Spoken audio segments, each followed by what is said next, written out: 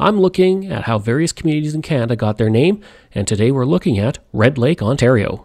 The area of Red Lake, Ontario, located in the far western side of the province, is the traditional land of the Cree, Sioux, and Ojibwe people. They occupied the area for at least 2,000 years. The name of the community comes from the indigenous people as well. A local legend states that two Ojibwe men came across a large moose while hunting. They killed the moose, and its blood drained into a nearby lake. The lake's water then turned red, and the name of the lake among the indigenous people became Red Lake. The name first appeared on a map in 1875 and was chosen as the name of the community on December 7, 1909. Red Lake is the hometown of Norval Morrisseau, an indigenous artist who has been called the Picasso of the North.